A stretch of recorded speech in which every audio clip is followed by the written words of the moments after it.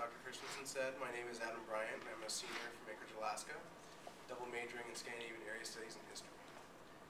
Uh, before I begin, I'd just like to thank those of you who come today, as well as my family who will be watching this later on YouTube. um, and I'd also like to thank Dr. Christensen for uh, guiding us capstoners through this semester, and Dr. Claudia Berguson and Dr. Troy Storfjell for uh, helping me with translation and talking things through and all that jazz. Today I'll be presenting my Scandinavian Area Studies topic titled Timing is Everything, the Significance of the Release of Max Manus. For those of you who do not know, Max Manus is a 2008 Norwegian film about one of the most well-known resistance fighters in Norway during World War II. I'll talk a little bit more about the film in a few minutes, so I'll leave that for later. I would just like to mention how I became aware of Max Manus. Last fall I was preparing to travel to Iceland and Norway for a J-term class with Dr. Berguson, as well as wasting some time during Dead Week and finals my procrastination, I found a trailer for the Danish film Flammen og Citronen, or Flame and Citroen, and emailed Claudia about it. She responded with a message about a similar Norwegian film that was stirring up debate in Norway. I found the trailer and quickly decided that I would see the film while I was in Norway, which I did within the first weekend in Oslo. When I returned home, I mentioned the film to just about anyone who would listen, and so when it came time to pick a capstone topic, there was little question as to what I would choose. So who was Manus? On the slide here I have two pictures. The picture to the right is the actual Manus, um, while the picture on the left is the film version of Max played by the Norwegian Aksel Hennie. Max was born in Bergen, Norway on December 9, 1914, but spent much of his home life abroad.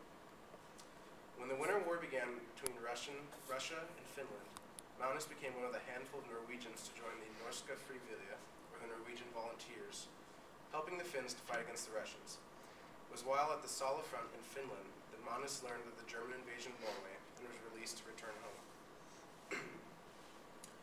Manus quickly joined with a group of men, now known as the Oslo or the Oslo Gang, and began to take action to subvert the German occupiers.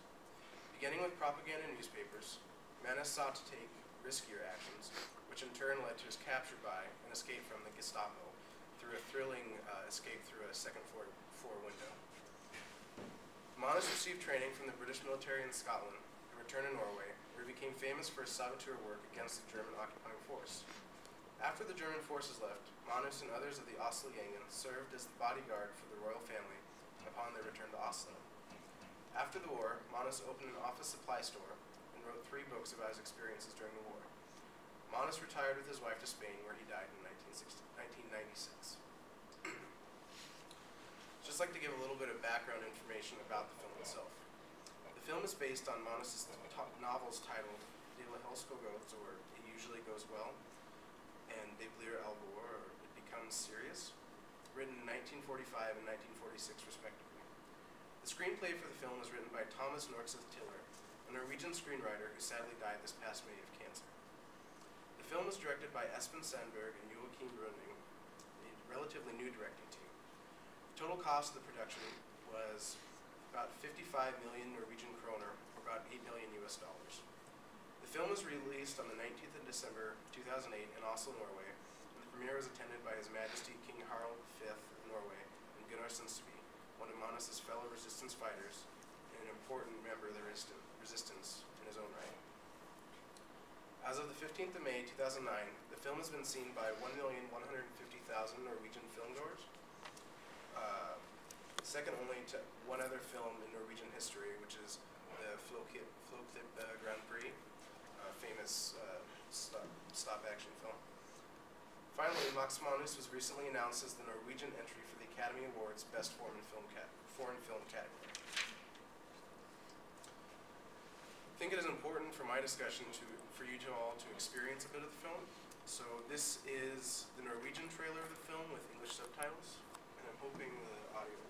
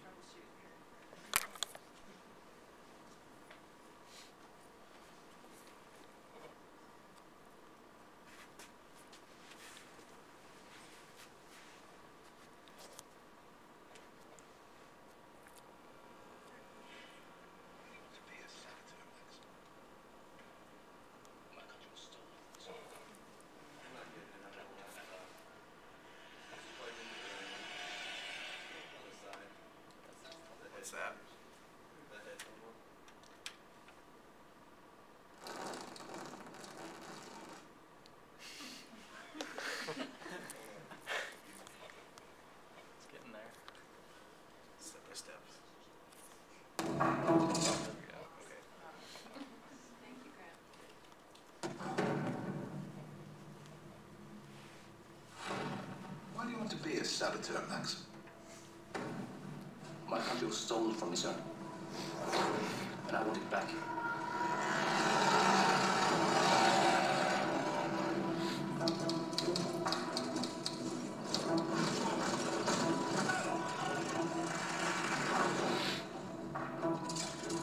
Vi vinner ikke denne krigen ved å lage aviser, gutter. Vi må gjøre noe aktivt. As members of the first Norwegian independent company, you will be trained as special agents. You will execute sabotage missions behind enemy lines. You must forget all you know about normal warfare.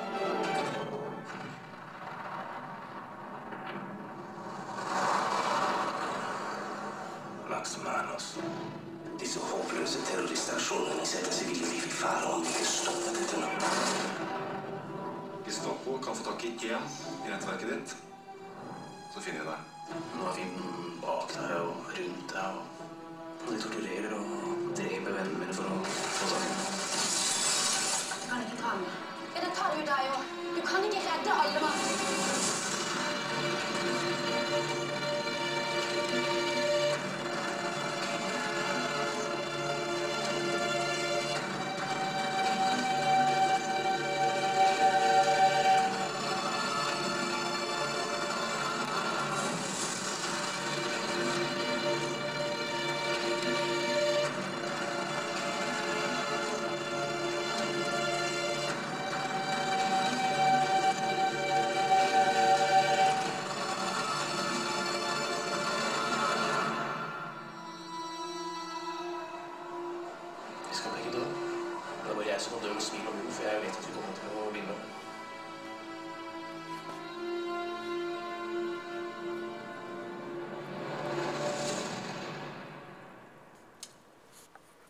First time I saw the trailer, it didn't have English subtitles, so I caught about half of what was going on other than the action. And when I saw the film in Oslo, it was um, in Oslo, so there were no English subtitles. but um, it was still an entertaining movie. Um, I'd like to say that it, there's uh, also an English uh, trailer that. Uh, the, you know this this trailer kind of focuses on Max Manus as a person and the, the kind of horrors that he had to go through, while the English trailer focuses more on the fact that he was a man of action and, and fighting the Nazis. And so I kind of think the placement of interest on in these two different uh, trailers is interesting.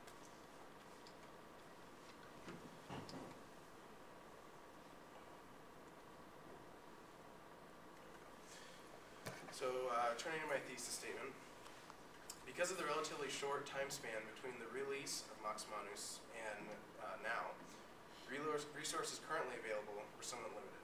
With that, I decided to ask the question of the significance of this film.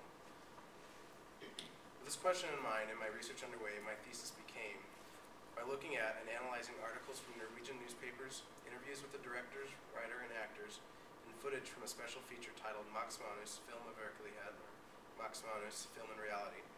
The main question of why Max Manus was made now will be answered. The sources used will show that the movie was made in order to introduce the younger generation to the resistance members who they may not be fully aware of, but must not be forgotten because of their service.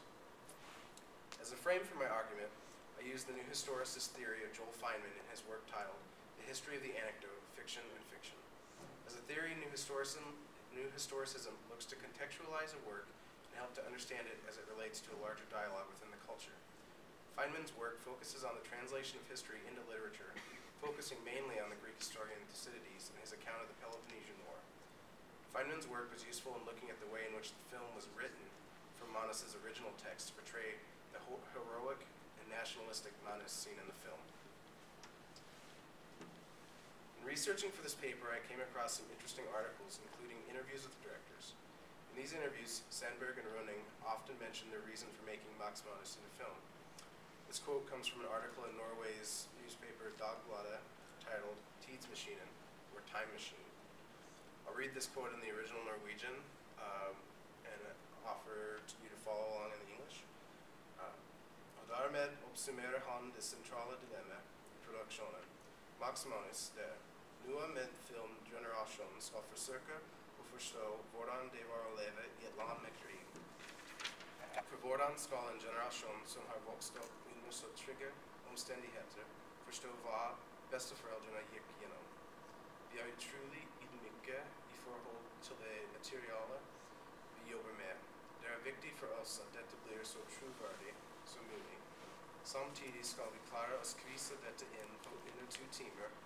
det en form sier Sandberg. In making this film, Sandberg and Rønning sought to make something that would introduce the younger generation, my generation's equivalent in Norway, aware of not only uh, what these resistance fighters did, what these resistance fighters, but everyday Norwegians lived through during occupation. To do this, as well as develop an interesting film that was also respectful to the source material, was a challenge during the process. The desire to bring this understanding to younger generations was not only found in the directors, but was echoed in the words of other resistance fighters and their families. With this reintroduction to the younger population playing such an important role in the production of the movie, I was lucky, lucky to come across an opinion piece by In Aftenposten, another Norwegian pa- paper, titled Takk Max Manus, or Thanks Max Manus. The author, named Ingvild, and who I believe to be 15, um, according to the uh, way it was denoted, says, Jeg vil rette en stor takk til alle som var med på å lage Max Manus. Den har gjort utrolig inntrykk på meg, og etter å ha sett den tre ganger på kino, er jeg blitt veldig interessert i temaet. Akkurat nå leser jeg om samhold og innsatsvilje av Gunnar Kjakan Sønsteby, en utrolig bra bok. Også flere jeg kjenner har blitt interessert i temaet etter å ha sett filmen.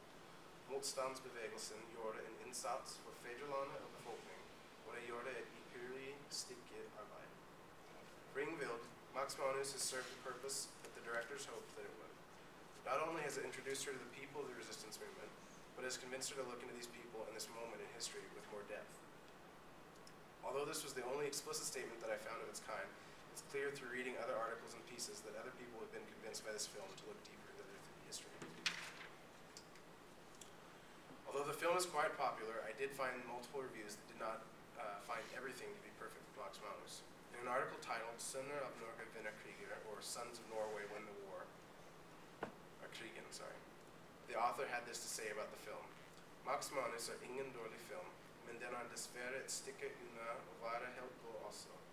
Det beste som kan sies om en av få norske storfilmene de siste årene, er at den på sitt beste funker ganske godt, og den forteller en bemerkels, bemerkelsesverdig samt at Aksel Hennie er i ferd med å få format som filmskuespiller. Han bærer filmen og får den til å virke litt bedre enn den strengt tatt er. For nye generasjoner nordmenn som er vanskelig å se for seg, for seg i okkupert Norge, var Max Manus en tidvis fascinerende billedlegging legging av en, utru, av en utrolig historie. Spennende, spektakulært og svært ukjent.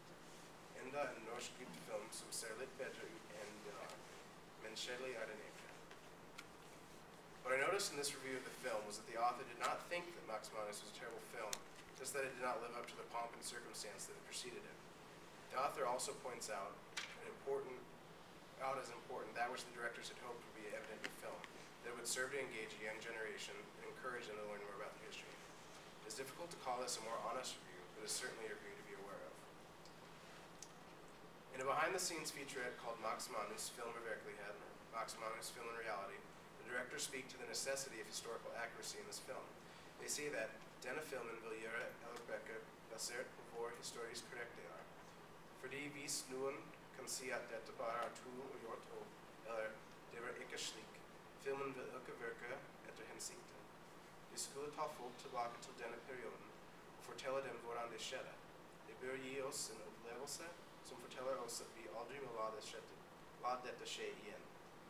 The director's hopes for historical accuracy become more clear when we see that a historical advisor was hired to keep the directors in check.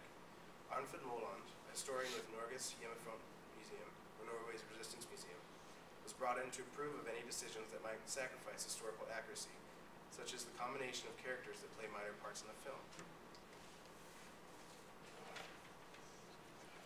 Although this is only a sample of the different sources that I found, believe that they accurately portray the answers that I, that I found in searching for the significance of the release of Max Manus. Although timing did not play as large a part in the release as I originally thought it would, the reason behind making the film proved to be an important aspect of the significance of the release. The need to reintroduce the resistance fighters to a younger generation was not only important for the directors, but also for the resistance fighters themselves as well as others. However, I was left with some larger questions that I hope to return to later in research. One larger question that remains deals with the selections made by the directors. Max Manus was known for a few major successful actions, but he had many more unsuccess- unsuccessful actions. Why were none of these included? One large uh, example of this that I found is that Max Manus was known to have made a uh, hand-guided torpedo that they tested out in at some point and uh, didn't didn't work. Uh, and they actually shot scenes of them building this, and uh, but it's there's no they didn't include it, and there's no mention of it in the film other than in these uh, uh, special features. Uh, was it an effort to maintain the heroic quality of Manus by not adding these scenes? And what of Manus's feelings towards the treatment of the Jews? Arnfinn Moland, the historical advisor, mentions in an interview that the German ship Donau, which is one of the three large saboteur actions in the film, was destroyed in part because of its history of transporting Jews to concentration camps. However, this connection is not made in the movie. Manus destroys the ship solely because it will be transporting well-rested German soldiers into combat. I'm sure that further research and debate into this issue will bring out answers to these questions, and I hope to be involved in that research. Finally, in a discussion with the Norwegian author Sigrid Undset, who visited campus a few months ago, I was told that no film will have the opportunity to critically look at the Norwegian resistance movement until the heroes of that of the movement, such as Gunnar Sønsteby, have passed away. Surely people do not want to discredit what these resistance fighters sacrificed, doesn't their memory deserve a more critical look? I believe that Max Manus, while does have some problems, is a step in the right direction. Thanks for listening to my presentation, I'd be glad to take some time for questions.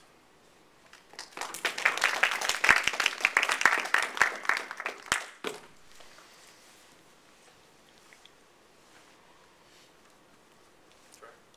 Um, I, I have a couple, several questions, but, uh, I think I'll, I'll look right now, uh, ones that, that deal with your title, um, uh, on timing. If you juxtapose that with the, with the, um, trailer that you showed us, are there other issues of timing you can, talked about it, about focusing on a film in which, um, in which this global, outside foreign global empire, uh, is threatening Norway and accusing its, those who resisted of terrorism and employing torture? And uh, might that be juxtaposed with making a film at this time in which we have blonde-haired, blue-eyed, healthy young Norwegian men fighting for the fatherland, and we can accept that with nostalgia because without feeling guilty of loving the fatherland because it was against the Germans, and other things happening now in Norway that would make sort of promote a, desire for that type of nostalgia. I'm not aware so much in, in Norway, although I think globally, in, in looking at the Iraq War and, and the war in Afghanistan, I think that there's probably a good a good deal of, of criticism veiled through looking um, back in history at, with this, um, especially with the um, the small discussion on torture through through this film. But uh, I, I believe that that's a, a good connection. Yeah. Well, the second one about, I mean, does immigration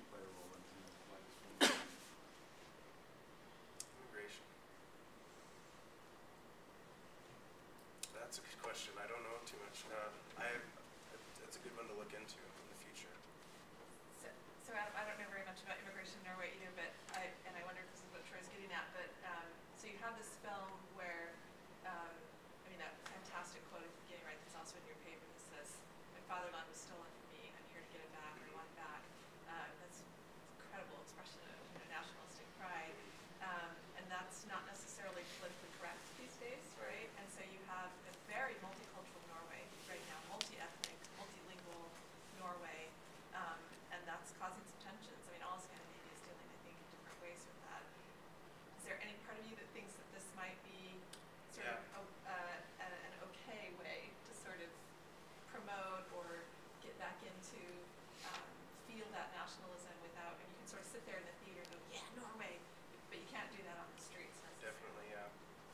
Um, I No, think, no one said that, I'm guessing, in any of right, their I, I haven't seen anything like that, but it's definitely uh, something to, to look through into. You know, just um, I've applied for the a Fulbright to be in Norway for next year, and Troy and Claudia and I have talked about the fact that I could end up at a school that has um, all uh, descendants of immigrants or, or immigrant uh, uh, students, and um, that's something that's pretty, I'd say, mostly re- more recent in Norwegian history. So, yeah, definitely. Claudia? You've, been, you've identified something that is, uh, is a, uh, is problematic in some ways. That you're looking at historical, problematic in terms of you've identified that it is a problem, right? But how do you deal with it in the larger paper, this relationship between adaptation in film and the historically correct uh, presentation of these events? Has there been, can you find anything in, in uh, newspaper articles so far to talk more about that? There's definitely a lot of uh, discussion on that, actually. Um, more so, not so much on what I brought up, but um, I mentioned that Max Manus fought in, in, or in Finland, or he was in Finland with the Norwegian volunteers. That's been the big debate, is that the opening scene of this film is Max Manus at the Salla front um, shooting people and, and at one point stabbing a, a soldier. And the big debate is that he didn't actually see any action while he was in Finland. Um, they, the most action that might have been seen by Norwegian volunteers was a, uh, I think it was an artillery barrage on the night that the, the two days that that scene is kind of set near. Um, and so there, there's an article where I can't remember if it was the title or just a quote, but it said that Max would be turning in his grave if he were, would see this.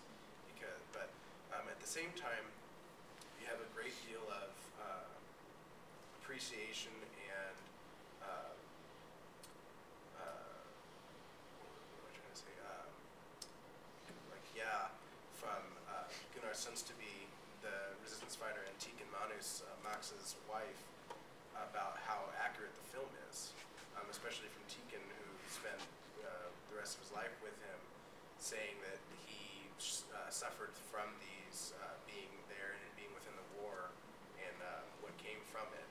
So the, the debate's kind of there, but.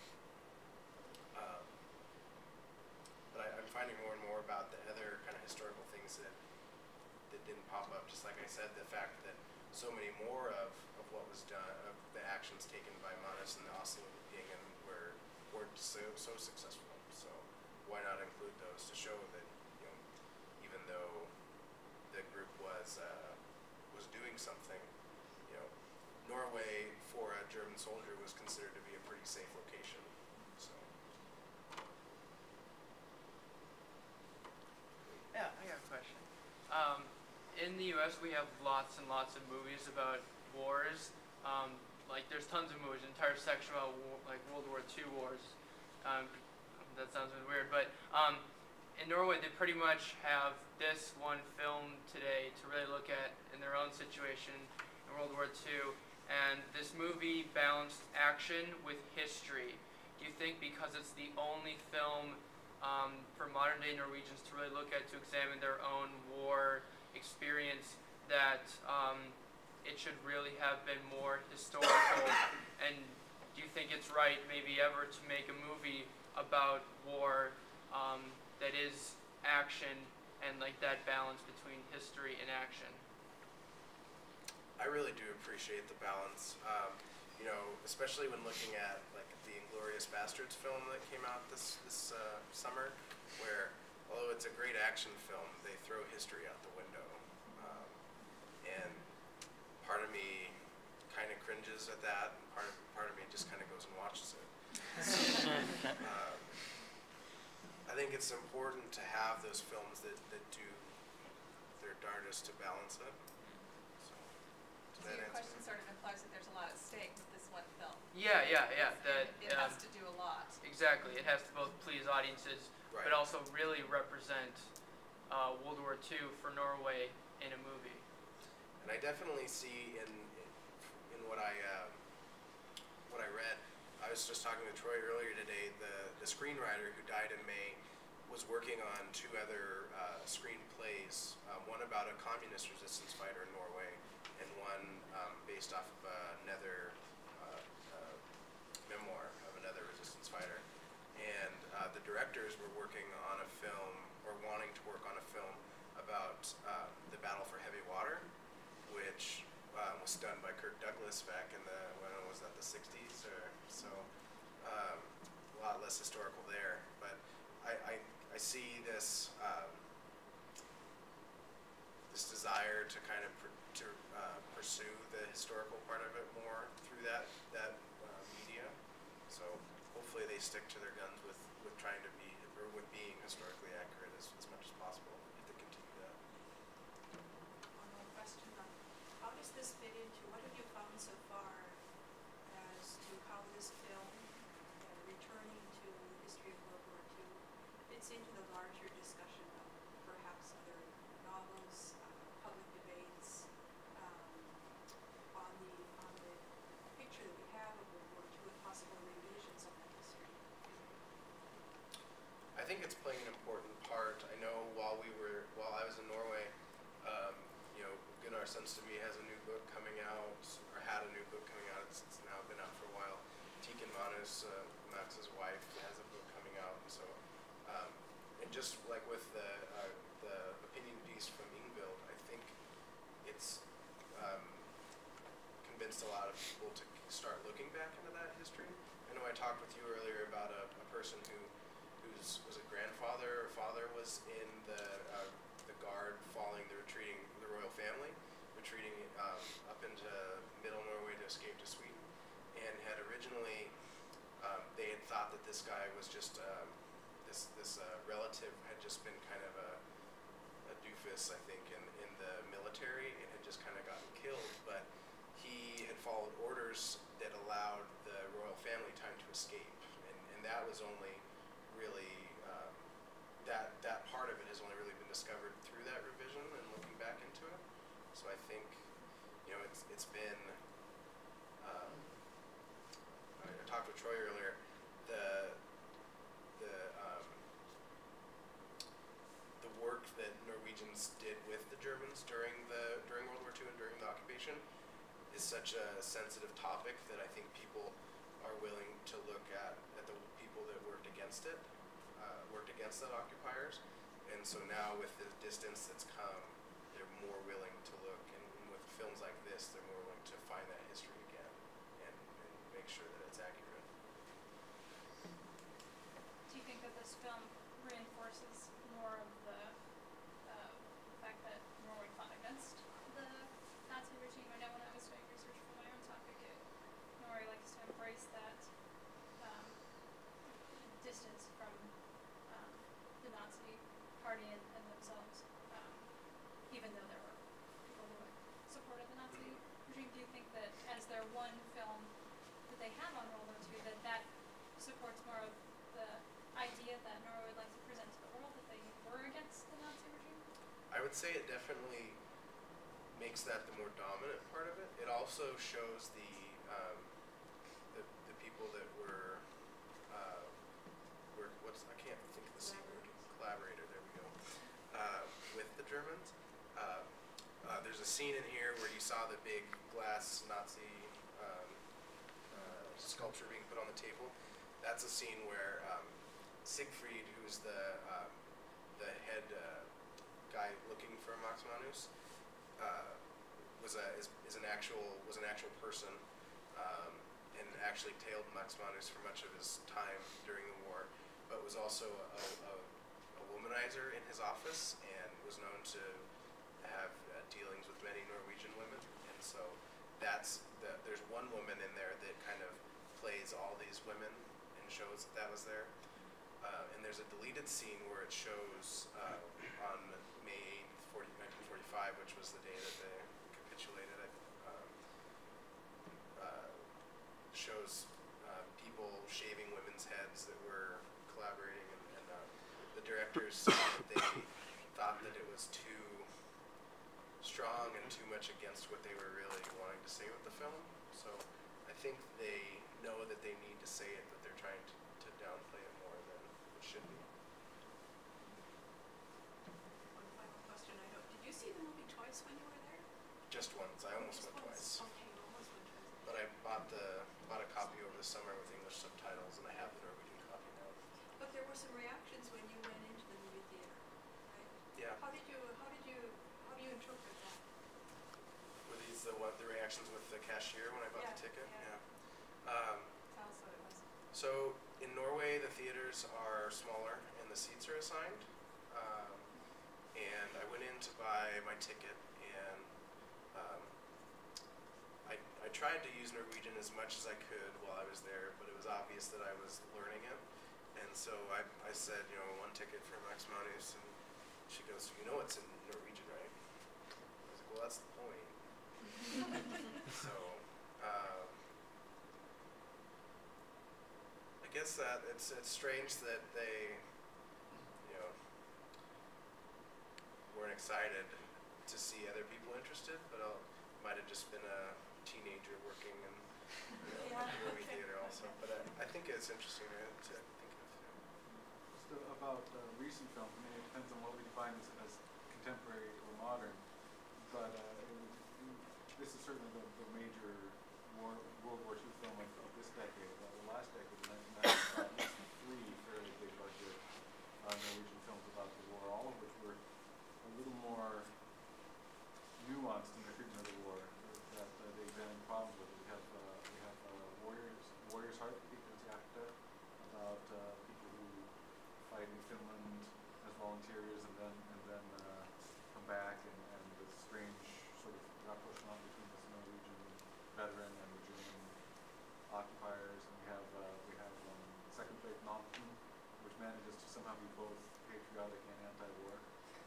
And then we have uh, and then we have uh, Hamsun, which really looks at this collaborator, um, national hero who collaborates with the Nazis. And so it's, it's interesting to, to move from, if not a directly critical, at least a more nuanced body of cinematic work in the 90s to a very sort of unproblematized pro um, patriotic look at the war in, in, this decade. And, and I don't know if I have an answer to why that is, but it's something that if you